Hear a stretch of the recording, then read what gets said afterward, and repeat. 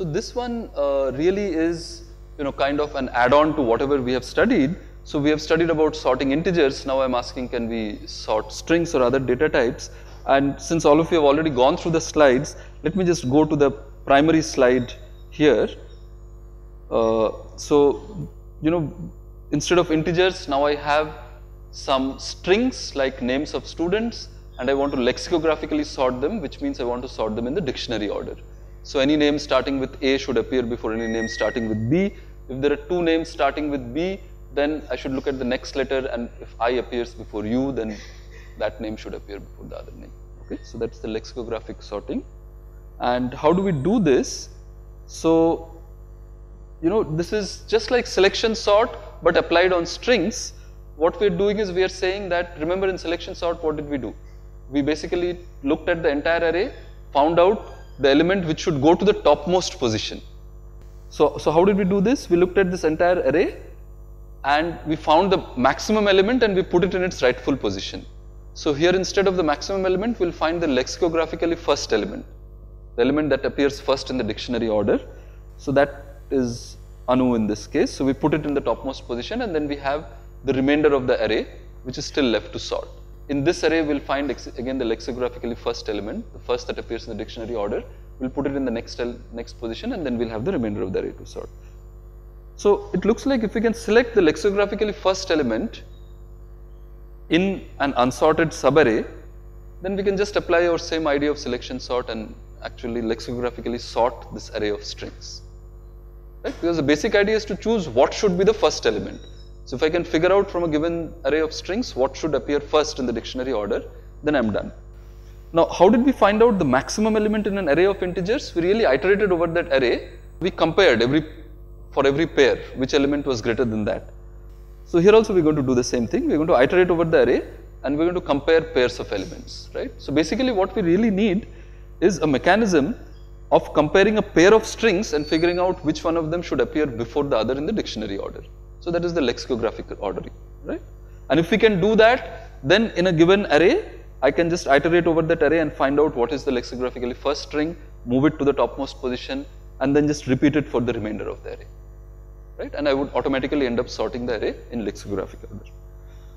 So let us assume for the time being that this function which tells us whether one string is lexicographically before the other is given to us. We are going to study about you know, strings and character arrays and then we will see how to do this. It's not very hard to do, but let us for the time being assume that we're already given a function which takes two strings. So here I've represented, here I've written strings. String is a special data type that is available in C++. However, if you want to use them as character arrays, that's fine. You can use them as character arrays. And what this function is going to do is it's going to return true if the first string is lexicographically earlier than the second string. Otherwise, it will return false. So let us not worry about how this function is implemented. This is the contract view of function. I just know its preconditions and postconditions and let me use that in the uh, algorithm for selection sort. So basically in this loop, if you remember this was the main loop for selection sort, we had current top going from 0 to n minus 1 which was telling us the unsorted part of the array and there we found the index of the maximum element earlier. Here we are going to find the index of the lexicographically first element and then we are just going to swap it with current top. Right? It's as simple as that. How do we find index of the lexicographically first element? We just iterate over the part of the array and earlier we had compared whether AI was greater than a current index max. Now we'll just check if AI is lexicographically earlier than a current index max. So this is the comparison uh, current uh, whatever current lex first index.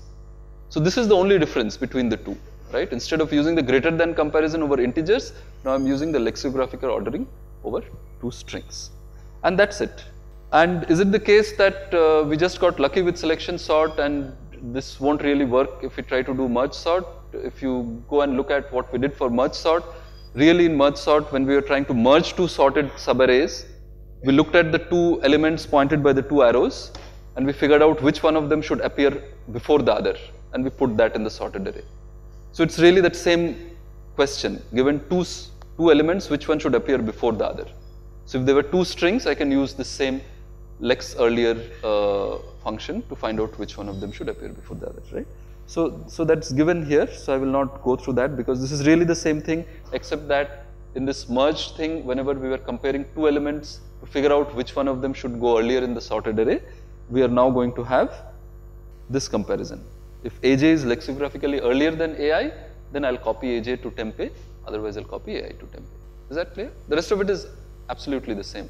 And of course, you should uh, sort of rename your variables accordingly so that they, they, they are more meaningful. Earlier we were sorting integers, so it was index of max, so maybe we should now call it index of lexicographically first or something? And uh, what do we do if we have arrays of other data types, let us say floats, doubles or other more complex data types that we are going to study soon. Uh, it turns out that we really have to do the same thing, we just have to come up with an ordering function for two elements of the data type, for two objects of the data type. And as long as we can order two objects of the data type, we can do selection sort. Selection sort is really finding the earliest element in a given array. So if you just keep comparing pairs of elements, you'll find the earliest element. In merge sort, when you're merging, you have to find the earliest of two given elements. So as long as you have an ordering operator, it's fine. Okay, good. So, uh, and this is certainly not the end of sorting. I mean, there are far more interesting techniques used for sorting. So I've just listed some of them here. You know, I encourage all of you to at least spend five or 10 minutes looking up Wikipedia on these things. Very interesting area of study. Uh, what we have studied is selection sort, which is probably one of the simplest but not so efficient sorting techniques and merge sort, which is actually a real life sorting technique. In fact, merge sort is used in a lot of practical applications because it has a very good running time as we just saw, right? Are there any doubts in this part of the lecture? Which is the most efficient sort? That's a good question. Of the different sorting techniques. So of selection sort and merge sort, the answer is clear. So yeah, so what you can show is that if you do a comparison based sorting where you're comparing two elements and then trying to figure out which goes uh, earlier or the other, then you need a minimum of n times log n base 2 basic steps. This can be proven mathematically.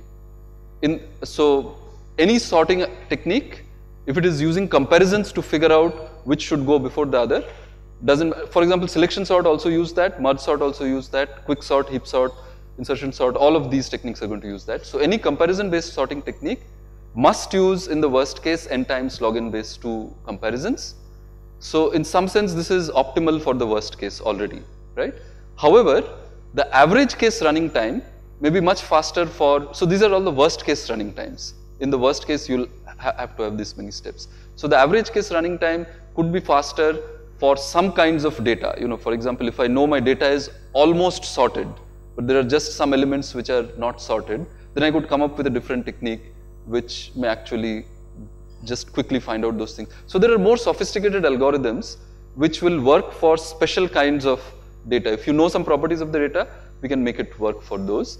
Uh, but if you're using comparison based sorting and if you want to sort the entire array, no assumptions about the data in the array, one can mathematically show that you need in the worst case at least n times log n base 2 comparisons.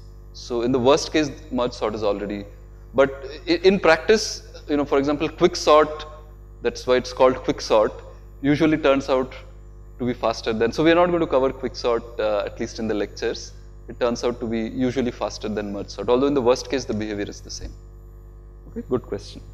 Okay, so now uh, we'll look at the third one, which is actually, uh, this is more like, uh, you know, once you have a sorted array, you can do so many nice things with that. So, uh, you know, let me quickly go through this. So, the searching problem is very simple. You are given an array of integers. You are given a particular integer n let us say and you're, you're asking is n present in A, right? And what we want is if n is indeed present in A, we want you to give us the index in A where n is present, otherwise we want you to return minus 1. So here are some sample examples. If, if this is my array and if n is 27, then I should return 4 because A4 is 27, right? And if this is my array and I, n is 23, then I should return minus 1 because minus 1 is, uh, because 23 is not in the array and if I am asking for 24, there are two 24s in this array, so I could return either one of them. Okay? So it's okay to return any one of the matching. Now the simplest way to do this is, uh, you know, let me directly go to the code, is to actually do what is called a linear search. So linear search means you just iterate over the array and if the current element matches the search element, then you say yes, I have found it. Otherwise, you say minus 1. I have gone through the entire array and I have not found the element, right? But how many basic steps is it going to take? If the array has n elements, it's clear that it will take n basic steps. You really have to look at every element in the array in the worst case, right? So, basic steps is n and the question is can we do better?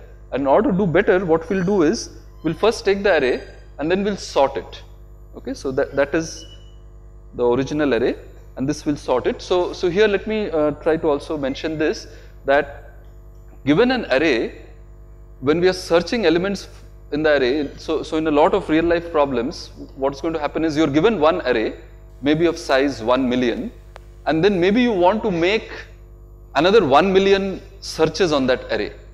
So that array stays the same, but you want to make a lot of searches on that array. You want to find out whether some element is present, some element is not present. So you want to ask questions about the presence or absence of elements in the array a very large number of times. Right? So given an array, the total number of searches we might make on the array might be very large. It's not usually not just one element. So what we are saying is given the array, let's pay this one-time price of sorting the array and then can we speeden up each of the searches that we are going to do, right? So it's a one-time cost that we pay because after that we're going to make a lot of searches and after that we'll see if we can speeden up the search, okay?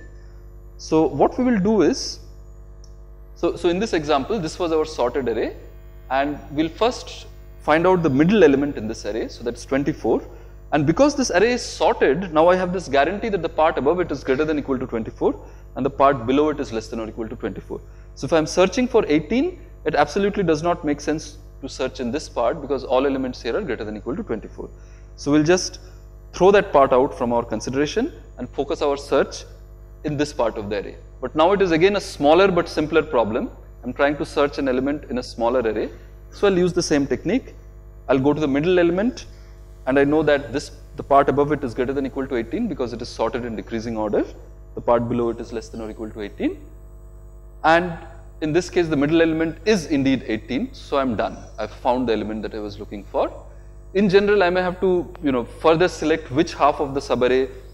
If, if the middle element doesn't match I have to figure out which half of the subarray should I focus my search on.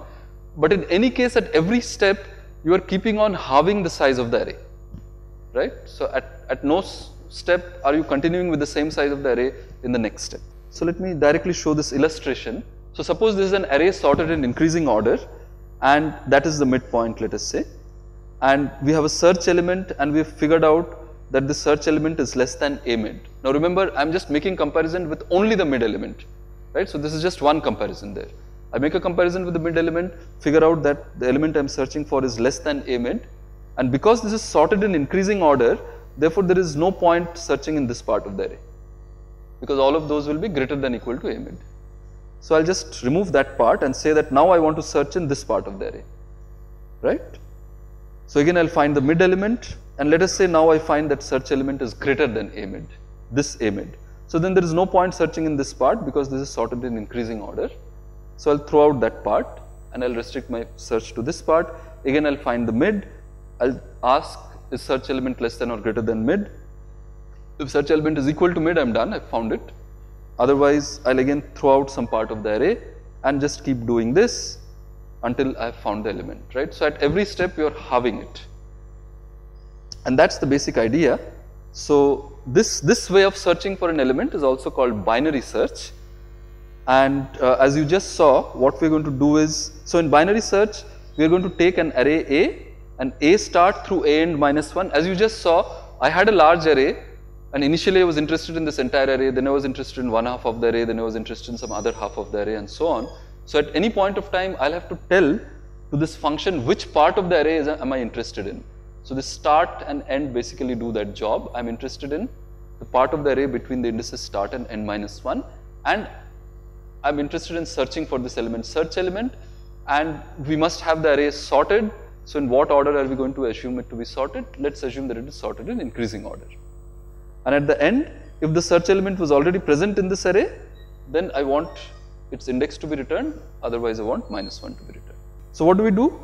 We look at the termination case first. If the array has just one element, right, then if that element already matches my search element, then I can return its index. If that element does not match my search element, it's minus 1 because my array of interest just has one element.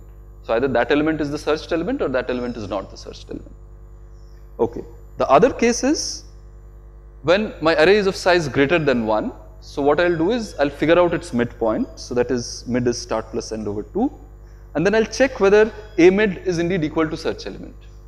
If a mid is equal to search element, I'm done. I can return, right? Otherwise, if a mid is not equal to search element, then a mid is either greater than search element or less than search element. So if a mid is less than search element, then because this array is sorted in increasing order, I can now focus on the part of the array from mid through n minus 1, only on elements greater than a mid, right? Otherwise, I'll focus on the part from start through mid minus 1. So part containing less than a mid, elements less than a mid, right? And that's it. That's what binary search is about.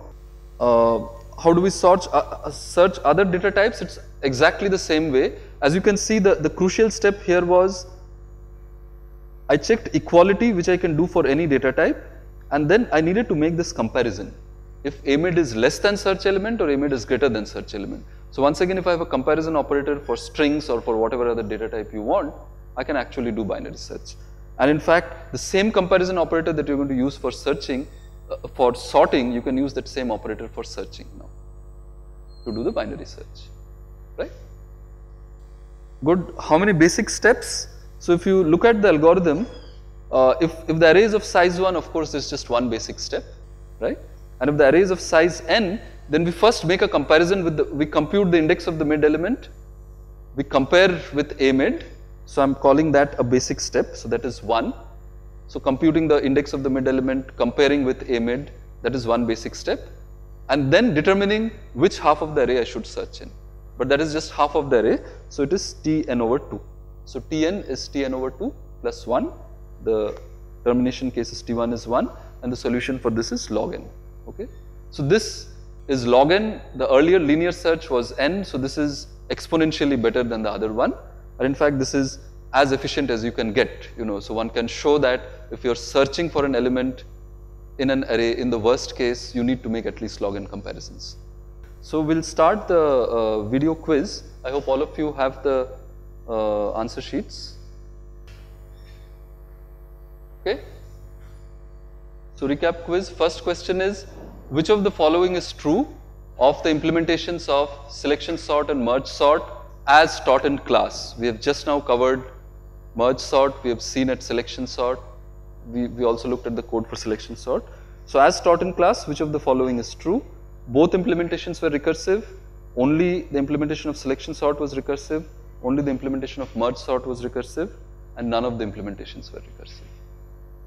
Right? As taught in class, which of them was recursive? Okay, it's an easy one. So let's go to the next one. So consider an integer array of size n. You already know the number of basic steps to sort A by selection sort. You know the number of basic steps to sort A by merge sort. So if I divide this and compute the ratio, this grows roughly linearly with which of these quantities? N over 2 raised to n, n over log n, log n over n and n squared over log n. The growth of this ratio with n will be roughly linear with which one of these quantities. Okay, so if you know the number of basic steps, you can just divide them and you can see which are the dominating terms there and you can compute this ratio. By using an appropriate comparison operator, merge sort or selection sort can be used to sort an array of which data types? Integers, characters, strings and double. Of course, more than one answer may be correct in any of the questions. Okay. Fourth question, binary search can be used to efficiently search for an element in an unsorted array, an array sorted in ascending order, an array sorted in descending order, all of the above. The last question. So, in a recursive implementation of binary search, as we just saw a few minutes back, what happens in the termination case? So, it always finds the searched element in the array. It may not find the searched element in the array. The termination case may happen when the size of the subarray being searched is greater than 1 and none of the above. So this is about the termination case of binary search. In the termination case, does it always find the searched element? May it not find the searched element? And in the termination case, can the size of the subarray being searched be greater than 1? Okay, so TAs, if you could please collect the answer sheets and bring them here.